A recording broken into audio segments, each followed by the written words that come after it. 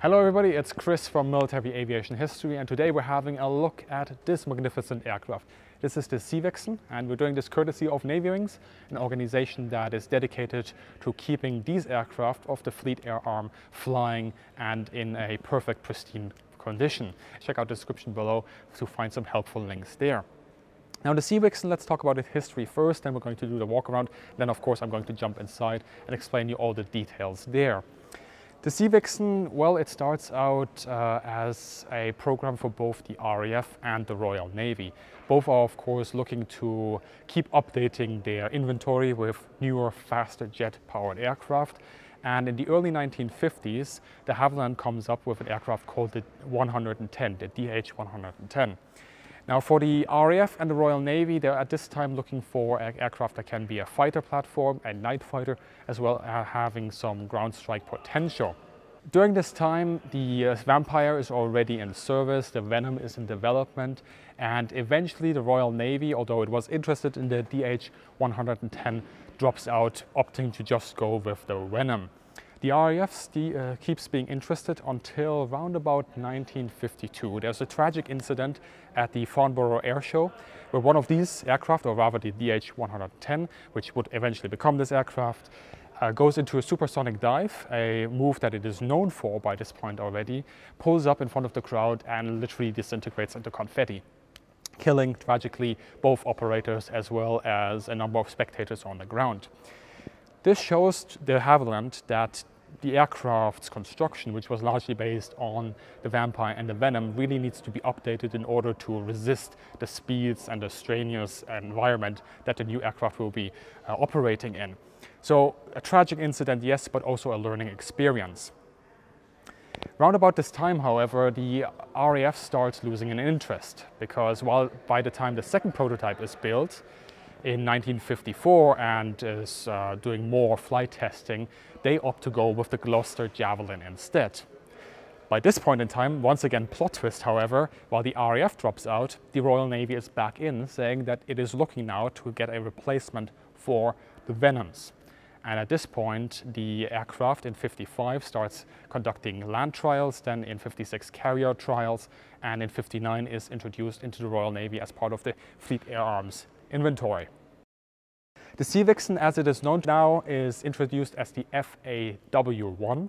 That stands for Fighter All Weather, explaining to you also the role of this aircraft in a nice little concise package. And it stays in service round about until 1970. It doesn't really see that much use in operational combat duties. It usually is just part of a carrier fleet and a show of force wherever the Royal Navy goes.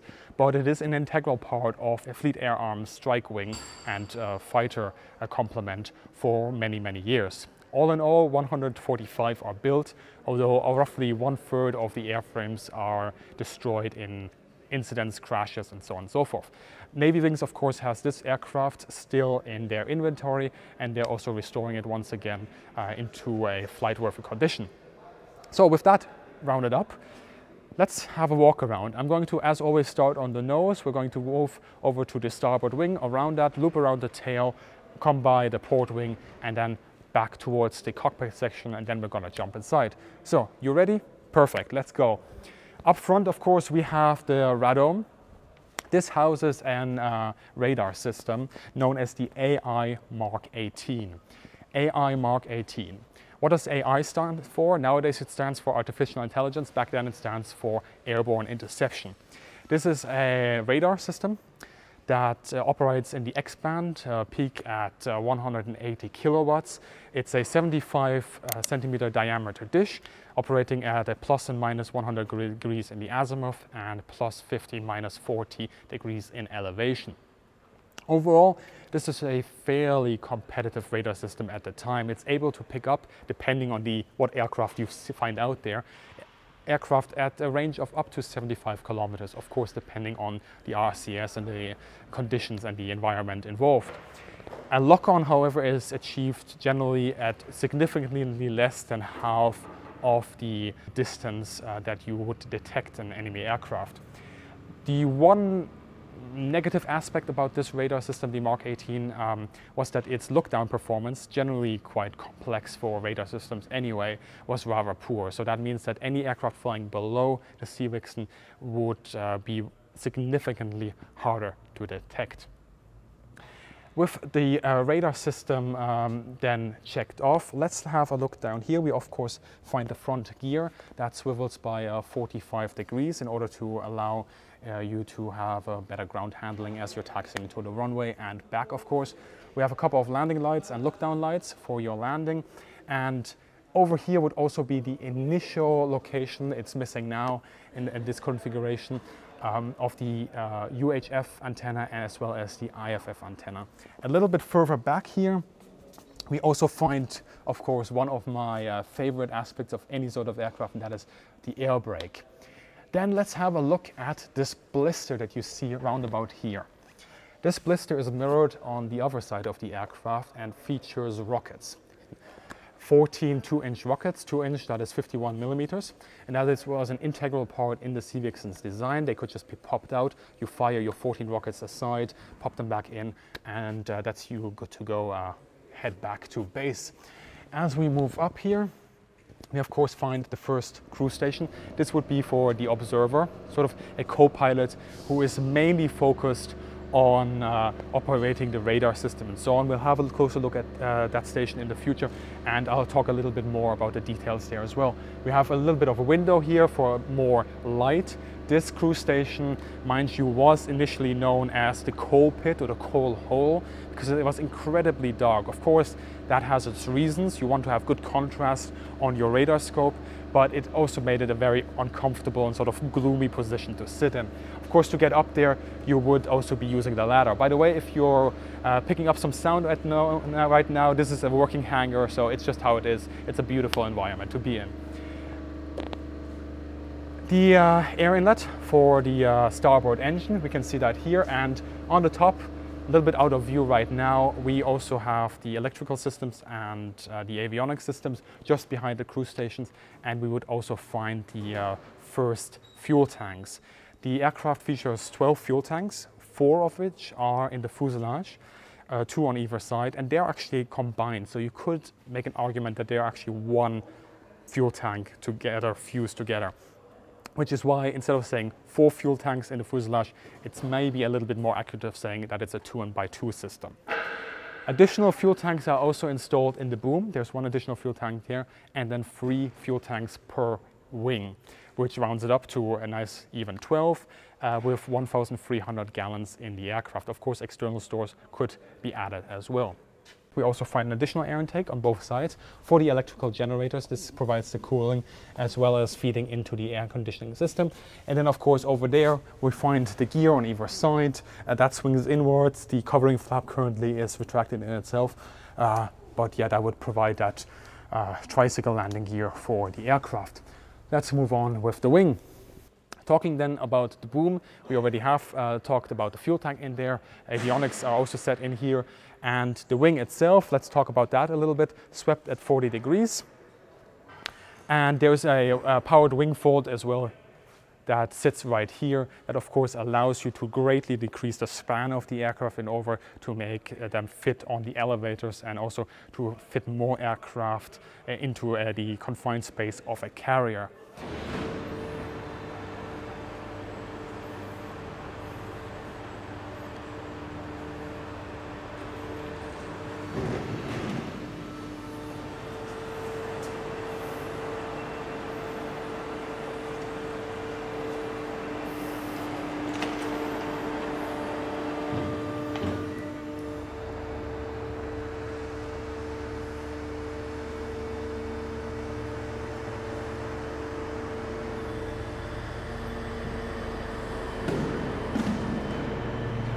We already see some of the outboard stores here. I'm going, just going to ignore them for now because we're going to talk about those on the port wing.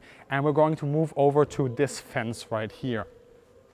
This is known as a wing fence and you wouldn't pick it up from where you are uh, looking at it now, but this is also a dog tooth, meaning that if I just put my hands here, you'll see that the difference between the wings is just about so. This part of the wing that extends all the way to the wingtip is slightly further than the inner portion of the wing.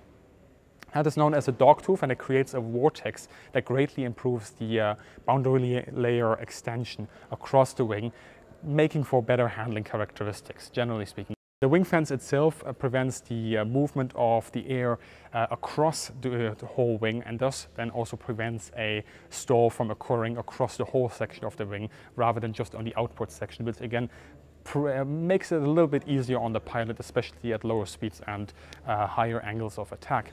As we move across towards the wingtip, we of course find the pitot tube for speed measurements and then we come to the outside, we have of course your navigational lights, and then we move towards the aileron. You can already see a part of the aileron separated here into the wingtip, and that is the mass balance. And as we then loop around side, we can see the massive aileron. It really is massive, going from over there all the way onto the mid-wing section. And this works in the following manner. So you have the actuators and the autopilot uh, servos just ahead of it and the aileron is powered by the hydraulical system, two hydraulical systems in fact, the uh, yellow and blue. Now, there is no direct control between this aileron and the pilot. All he does is pull on his stick and that control input is then translated via the hydraulical systems towards the aileron, which means that if the hydraulical system fails, so too does he lose control. However, you can re-energize at least the blue system if you pop the ram air turbine with enough pressure in order to get at least home. So there's a little bit of a um, of an emergency. You want to pass? Just go ahead. no worries. so there's a, so there's a little bit of um, of an emergency system installed there. What is also interesting about these ailerons is that they act as elevons for the uh, autopilot stabilization system as well as that they uh, can be trimmed by themselves. So you will notice there are no trim tabs on this elevator, uh, sorry, this aileron. What the pilot does, he has a switch on his control stick and by manner of deflecting the stick, trimming out the aircraft mid-flight via his control input, he flicks that switch and the aircraft now knows, ah, okay, this is the trim setting that the pilot wants me to fly up and it automatically adjusts the trim accordingly, which is rather neat. Moving then over to the flaps. Now we have the first flaps uh, on the outer section of the wing here, another flap that goes all around the boom, and then we have an inboard flap as well. Essentially three flap systems or three flaps installed in the aircraft. However, the central one around the boom as well as the outer one are combined, so it's more of a two-and-one system. These are Fowler flaps, which means that they extend on rails out of the wing and then pop down. You are familiar with these flaps because if you've ever sat on a commercial airliner and you've sat behind the wing and you had a clear view of the wing as it is landing, you're seeing the exact same types of uh, flaps just popping out on rails and then lowering down. However, these are just one piece and they don't have a slot between the individual sections of the flap. So that's a little bit of a difference. Then talking about the boom here. The boom houses, um, next to the avionics systems that I already talked about, the fuel tank that I already talked about, also the inverters. What do the inverters do? There's two per each boom. The inverters change or translate direct current into alternating current.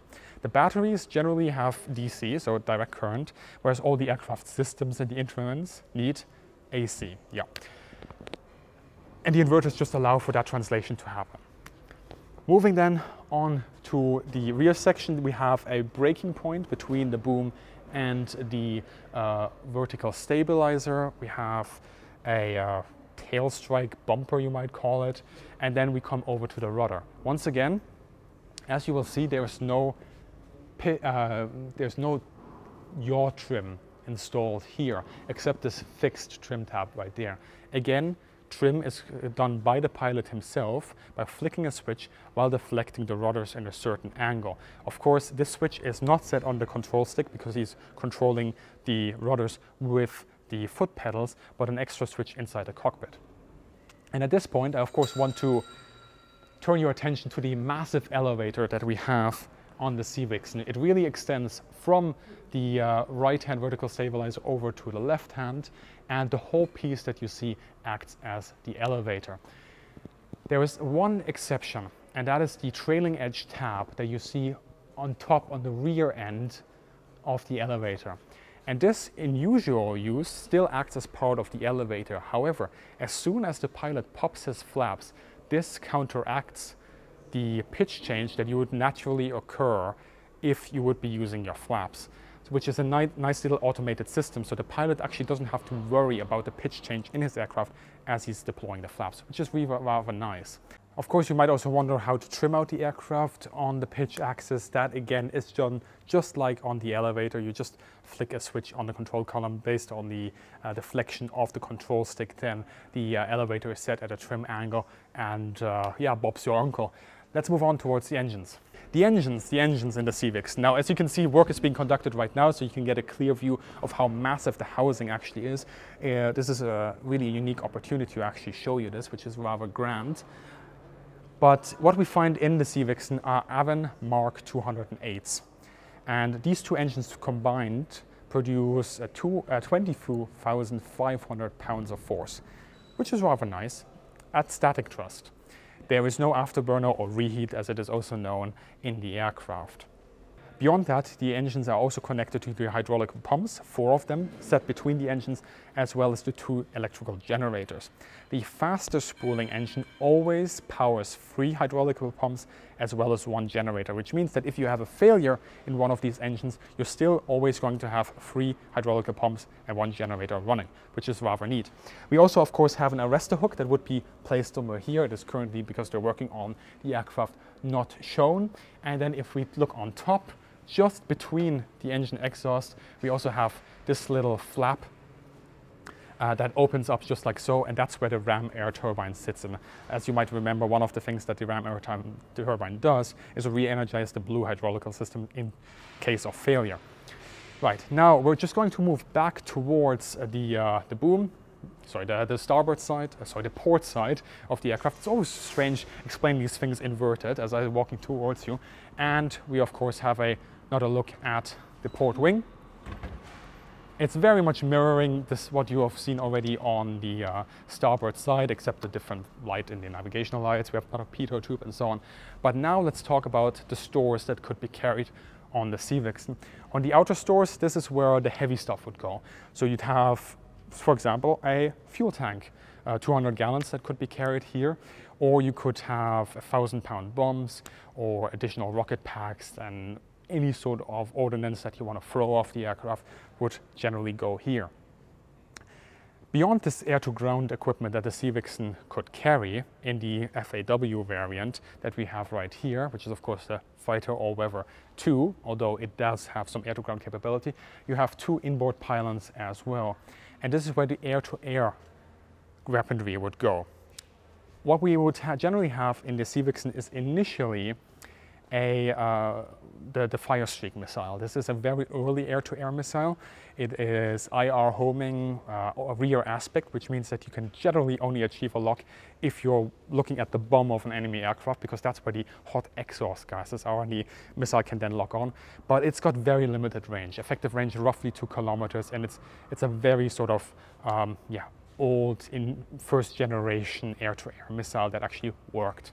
Beyond that, you also had Firestreak, which greatly improved the air-to-air capability of the Sea Vixen. Uh, Firestreak had an effective range of up to seven kilometers, so it's not an MRAAM or ARAM or a BVR missile by, by a long shot, but it's a lot better. And uh, it is also all aspect, so you could achieve a lock at uh, different angles as well which is rather nice. We then also have this refueling probe that could be used for in-air refueling. And at this point, you might be wondering, as I'm going back towards the cockpit, uh, hang on, Chris, we talked about the rocket pods that are integral mounted inside the aircraft. We talked about the external stores, air-to-ground stores, right? Uh, we talked about the Firestreak missile, the red top. What about guns? well, the Sea Vixen doesn't have guns. It comes about in this time where there's a little bit of a honeymoon with technology, where nations are developing air-to-air missiles and they're so enamored by the idea of having a missile that can just follow an enemy aircraft and just shoot it down with 100% accuracy. Spoiler alert, that was not the case. That the installation of fixed weaponry wasn't really a thing that they were considering. And the Sea Vixen was one of those aircraft, we see them across the globe really around this time, that just doesn't get fixed weaponry. Although the initial prototype, the DH-110, did have fixed weaponry planned into it. Before we now jump inside the cockpit, I just noticed that I forgot to talk to you about a very important aspect of the Sea Wing, so we'll go back to the outer stores. And I'm going to talk to you about the Palouste starter pod. Now the Palouste starter pod, which is not shown here, uh, but it was roughly the same size. And this was a pod that the Sea Vixen could carry that acted as a ground-based starter unit. Now we're just gonna have to wait for two helicopters to land over there. I'm not quite sure if you can hear me, but I'll try my best to speak up. It is a base, that's just how it is. But the Palouste starter pod was really nice. A French invention and it allowed the Sea Vixen, for example, if it takes off from a carrier and wants to be landing at a ground base somewhere and you weren't sure if you're gonna have ground starter units, the Palouste starter pod fixed that because you would carry your ground starter unit with you which is rather nice and off offers you a little bit of flexibility with the design. Right, with all of that said and done, I hope that you heard me in the last couple of minutes, but now we're gonna jump inside. See you there. Right, getting into the number two spot, uh, the pit. let's go. Just jumping up the ladders. And then, because there's no seat installed right now, this is going to look slightly awkward, but it works. Whoops! And we're inside, lowering ourselves and yeah, this is very dark. I can see why they call this the coal pit over there. It's kind of comfortable though. But yeah, I am sitting in a place of the aircraft that does appear just to be a bit forlorn. You just feel a little bit, yeah, left out of the action. But of course, this is an integral part of the crew station because the observer that would be sitting here would be operating the radar system of the aircraft in air-to-air -air mode, of course, when you're going air to ground, you can only really feed information towards the pilot. For example, you call out the altitude and the speed and so forth as you're doing your attack run. But beyond that, it's really up to the pilot to do everything. In air-to-air -air mode, this really would be the station um, that would uh, be crucial in trying to get the detection of the enemy aircraft right, trying to have everything locked on, then telling the pilot we're good to go and firing those missiles. Now, of course, with the seat, it does look a little bit different. We don't have the uh, radar scope installed right now. We have the Garmin navigational system in here, of course, to keep the aircraft firing, but you still see parts of the bibs and bobs that would make up this, uh, this uh, cruise station in Rehab. So I'm sitting in the observer seat, although the seat at the moment is, as you can tell, missing since I'm sitting, literally sitting on the ground of the observer's position. Uh, you can also tell that by the fact that I have the seat raise and lower lever right here to my side, and I should be able actually reaching down in order to get to it. Uh, rather than uh, sitting below it. But yeah, the observer position, what we have here usually uh, would be the radar scopes. That's what also this position appears so so dark in order to get that contrast on the, the radar scope and allow the observer to better track of what is going on. Of course, in an air-to-air -air role, the observer is quite crucial. In an air-to-ground role, less so. He's more of an auxiliary person in that role. As I said earlier, he's going to be calling out uh, information towards the pilot. Pilot sitting there and uh, we're not exactly in contact, but theoretically speaking, we could make hand signals if we wanted to, just like so. Uh, there is a window here to the uh, right-hand side of me that was an improvement in the Sea Vixen that came out with the uh, FAW2, as I understand it, improving the lighting conditions in this position just slightly. And beyond that, yeah, he's got all the important dials that you would expect this position to have as well. So let's go through those in detail right now. We will start with the observer seat simply because it currently has only very few instruments as the original radar control set and scope are not installed. This would occupy the majority of the space in front of the observer as you can see right here. And as you can also see, the ejection seat is also currently not fitted. But this gives us a chance to look at the internals and the systems mounted behind the crew which are usually out of view. So there you go. To the left of the observer, you will still find the oxygen regulator. Notice that rod sticking out to the right.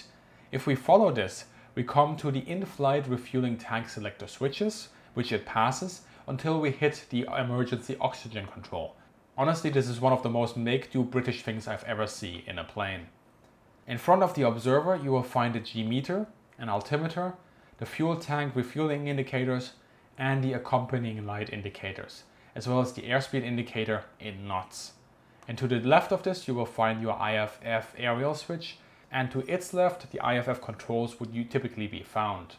Below this, where the radar scope would have been, the present day Garmin GPS, not a sponsor, and your course deviation indicator. The CDI can be used for an instrument approach for landing. To the right then, the window lock lever, and below this, the horizontal stabilizer gear changer and the electrical generator indicators. And that is pretty much the observer position done as we see it right here. Let's switch over to the cockpit. Right, getting into the pilot seat then, we're just gonna use the ladder that was so kindly provided by the manufacturer, by de Havilland. And we're just gonna step up gracefully, cheerfully, as we always do, stepping into the cockpit. It's gonna be a little bit tricky. The pilot seat is missing as they're currently working on the aircraft, but let's lower ourselves into the position and here we go. You can definitely immediately tell that this is sort of a 1960s, sort of actually late 1950s, early 1960s cockpit design because there's a lot of bips and bobs everywhere, lots of switches. It really is a carnival in here. But uh, let's take that and just go through it in detail. Come on board. Looking at the cockpit, we are greeted by a confusing number of buttons and switches often arranged somewhat haphazardly. So a very typical cockpit for the early Cold War jet aviation age. I will be summarizing some of this stuff because quite frankly, if I go through every little switch, we will still be here tomorrow and won't remember half of it. But if you are a Patreon or channel member, I have uploaded some pictures of the manual that you can use to get all the details if you are so inclined. Of course, also a big thank you to my Patreons and channel members, since it is you who fund these Inside the Cockpit filming trips and they would not exist otherwise. Starting as always then on the far left, working our way forward and then hooking over to the right. To the far left, we will see a few levers. We start with the cabin air supply, the air brake emergency switch, as well as the arrestor hook lever with an integrated emergency setting. We have dimmer switches for external and internal lighting and the ventilation temperature control. Moving forward, the flap and fuel crossfeed levers, the low pressure fuel cocks, as well as the pitch trim setting speed. This is currently set to a slow trim, as well as the rudder trim switch. Remember what I told you on the outside of the plane about the rudder trim? This is that switch. To the left of this, the dual aileron and rudder trim indicator. Above this, the hydraulic pressure gauges for the red system, together with the brake supply. The red system is the backup hydraulical system. Then we have the awesomely named high intensity light switch. To the right of this, the parking brake with an emergency setting. Moving forward and upward, jet pipe temperature control switches and your individual engine relight buttons. On the throttle control, you'll find the individual throttle controls with an integrated high pressure fuel cock. If you want to shut off the fuel cocks, you depress the stops in the middle and pull the throttle controls fully aft. On the right throttle lever you have an integrated air brake switch and radio transmit button. Between the levers the UHF mute button as well as a hot air blast switch acting as a windscreen wiper. You also have color-coded pressure gauges. The triple hydraulic pressure gauge of the main green system here is for the brakes and then we have the pressure indicators for the blue and the yellow system. Moving forward to the front left, the undercarriage release lever with an emergency setter, as well as the indicator lights, one for the arrestor hook and the other pair for the horizontal stabilizer gear. Then the central instrument board. Top left, the Mach counter next to the speedometer in knots, set above the undercarriage position indicator and the altimeter. We then have the artificial horizon and HSI above a slip as well as the angle of attack indicator. We also have our vertical speed and a standby artificial horizon. To the right, the engine jet pipe temperature, the engine RPMs, as well as the fuel gauges. And finally, the fuel flow rate and consumed fuel indicator. And that is set next to the drop tank fuel transfer indicators.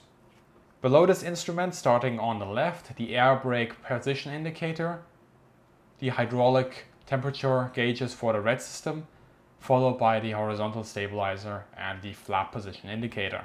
Further right, at an angle, the oxygen content gauge, as well as the PAS setting switches and the cabin altimeter. Moving further to the right then, and oh boy, here we go. Much of what you're seeing right here has to do with the fuel system. So we have the fuel pump circuit breakers as well as the auxiliary pump controls. Below this, the uh, fuel pump switches, as well as the pitot tube heaters, the inverter switches, and then we have loads of switches for the trim, the lighting, and the radios, as well as some other systems. And below all of this, the UHF system is missing. We have the oxygen regulator next to the engine master, ignition, and accumulator switches. You'll also find your generator isolators and engine start push buttons. A warning light panel is set above the fire extinguisher control. To the right then we have the wing fold locking lever as well as the wing fold selector.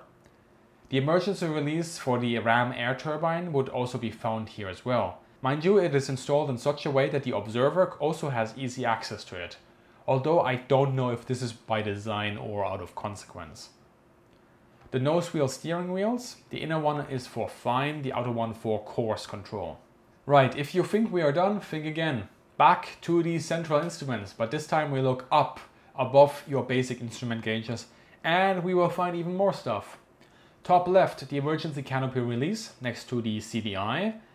In the middle, the fuel flow indicators. And to the right, the auto stabilizer control for rudder and ailerons. Remember what I said about that when we were on the outside, as well as the accelerometer. There is also a pitch trim indicator and the modern radio and GPS system that sits where the original gun sight would have been. And if we look up, we find a whiskey compass and a mirror. So say cheese. We ain't done just yet. The final piece in the puzzle is of course the control stick, situated between your legs. The large twin button is for the pitch and roll trim. That's the button I mentioned on the outside.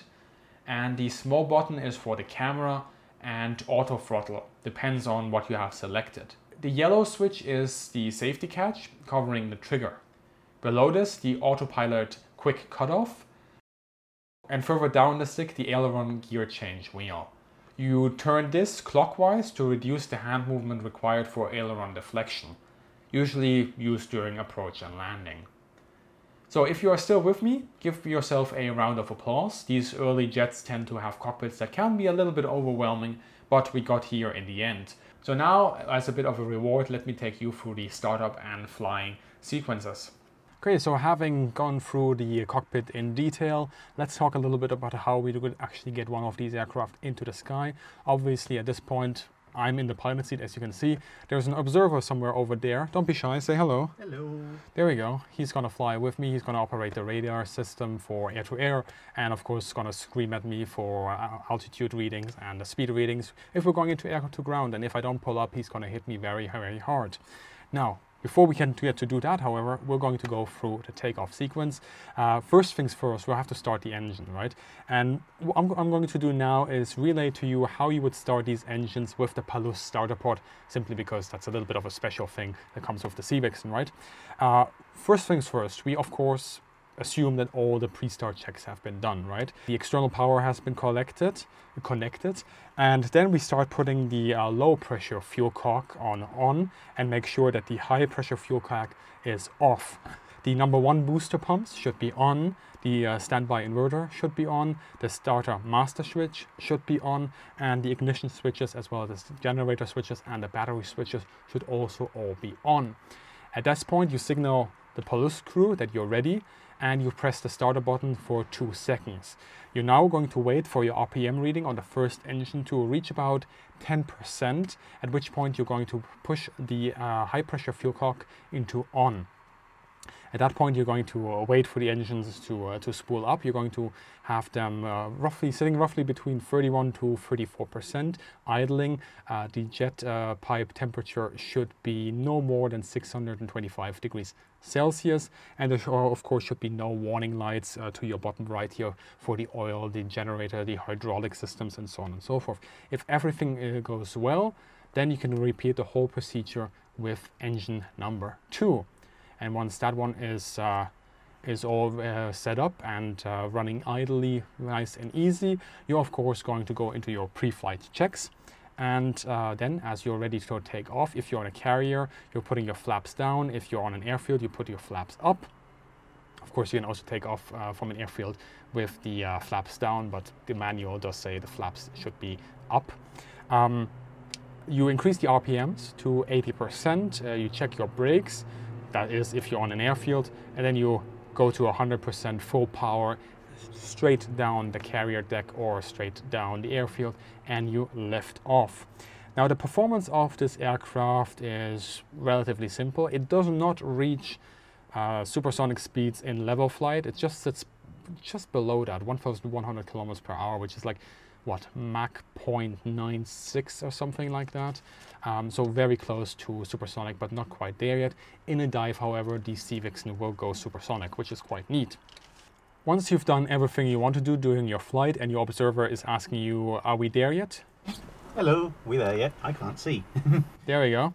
If once he uh, gets annoys you with those sort of questions and you want to head home, you can do so. Landing, uh, let's go through the normal sort of uh, descent procedure and landing procedure. Like normal descent, initially, if you're above 350 uh, knots, that's 600 kilometers per hour, uh, you extend your air brakes to out and you lower your RPMs to about 70%. You then deaccelerate to below 600 kilometers per hour, and on your descent, uh, your final descent, you pop the air brakes in, uh, you have the gear down, the flaps to 20 uh, degrees, and you're going to go down to uh, 370 kilometers an hour.